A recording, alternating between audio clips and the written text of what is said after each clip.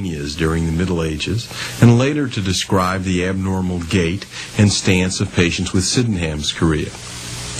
We now use the term chorea, however, to define a class of abnormal involuntary movements.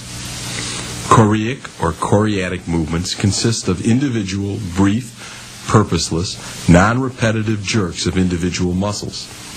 These tend to be rhythmic and non-patterned, but they appear in series or groups which result in rather complex movements. The movements are made more complex by the patient's attempts to mask them by purposeful movements. Here we have a patient with fairly severe choreatic movements involving various parts of her entire body.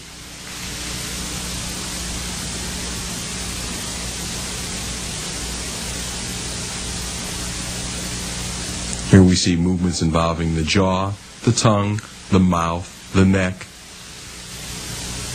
Each is an individual, brief, sudden, purposeless jerk.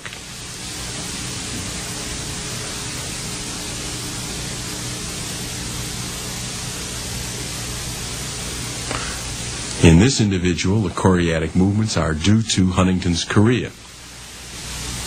The individual movements, however, look the same no matter what the etiology of the choreatic disease.